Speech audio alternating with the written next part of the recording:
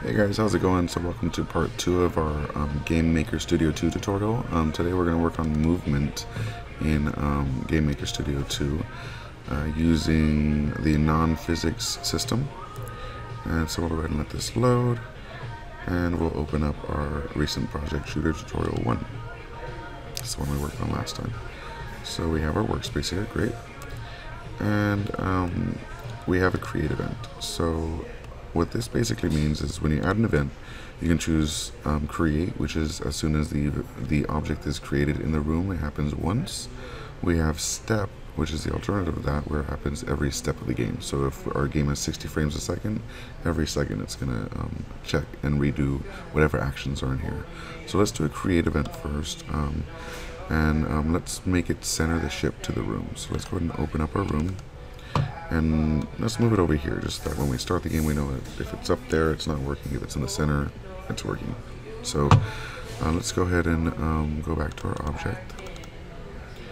And in the create event, if you don't already have one, um, let me delete this so you can see how this works. We click on add event and hit create.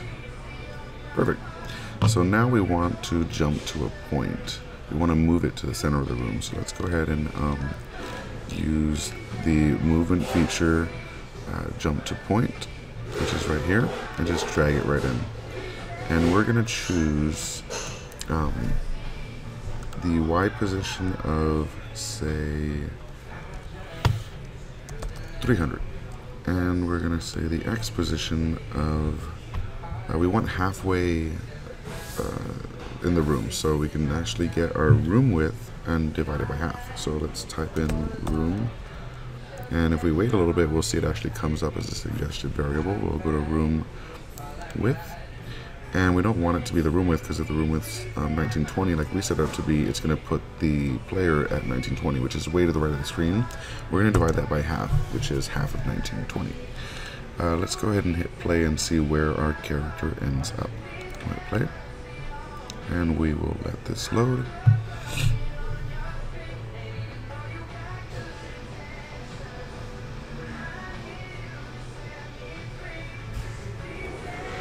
Great, so now we're in the center of the room, but we're way up top. So we can actually change this to say a thousand and hit play.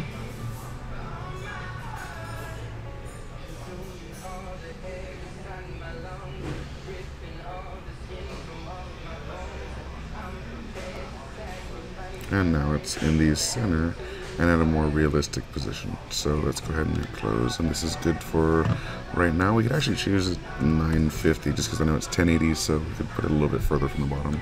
So now we have our first um, little piece of code here. Uh, but we want movement. We don't want it to just um, be at the center of the room. So let's go ahead and add another event. We could use a um, key down event, uh, which would work just the same. But let's go ahead and create a step event because this happens every frame of the game and in fast-paced games I, I feel like I like this um, version a little better. It, I mean the, the button down event might work the same way but I prefer it in key press. So I mean in step. So um, every frame of the game do something. So we want to check if a key is pressed so we can actually move down to mouse and keyboard and choose if a key is down. If a key is pressed, it'll happen once. If it's down, it'll keep checking whether it's down and continue until it's released. So let's drag this in. And we can choose which key we want to look for. We'll choose the up key in this case.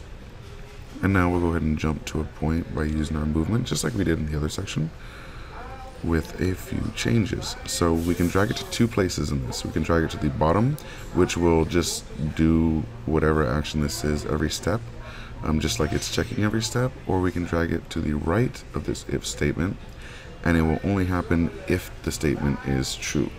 Or conversely, if we hit not, if the statement is not true, but we want it to be true. So, um, so if the up uh, keyboard button is pressed down, we want to jump to a point. So the x-axis we're not going to mess with, so I will choose 0.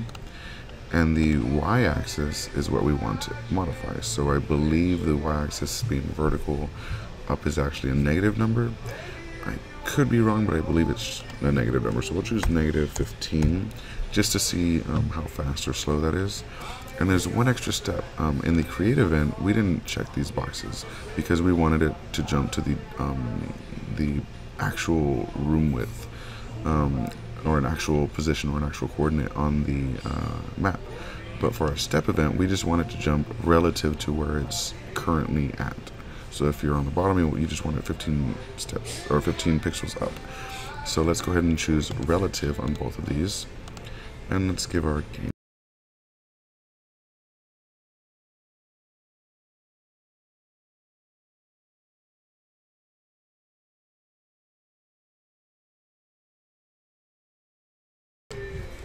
press up and it's going up. Can't go back down, but it's going up. So that's good news. Now, a great trick is we can actually click on both of these by holding down Control. We can copy it by hitting Control C, and we can paste it. And we have a second event. So let's change this to the opposite and choose down. And instead of a negative number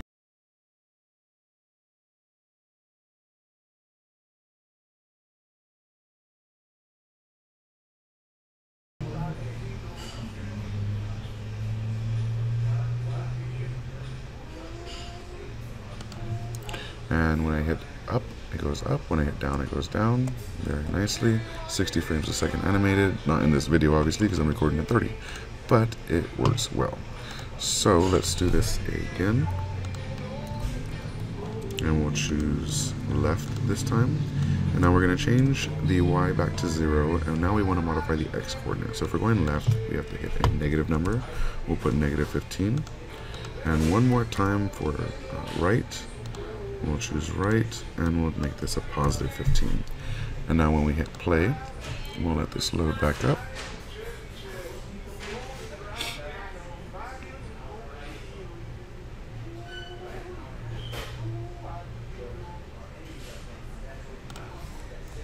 and now we can go in all these different directions and when you hold up and right it goes diagonally when you hold down and left it goes diagonally um, everything works because it's just adjusting the coordinates relative to each other so they're all able to affect the others at the same time. So yeah, that's it, and I hope you enjoy this tutorial. I'll be back um, next time in part 3 with uh, more updates for you, maybe some enemies or parallax backgrounds, which I forgot to do this episode. So thanks for watching. Have a good day. Peace.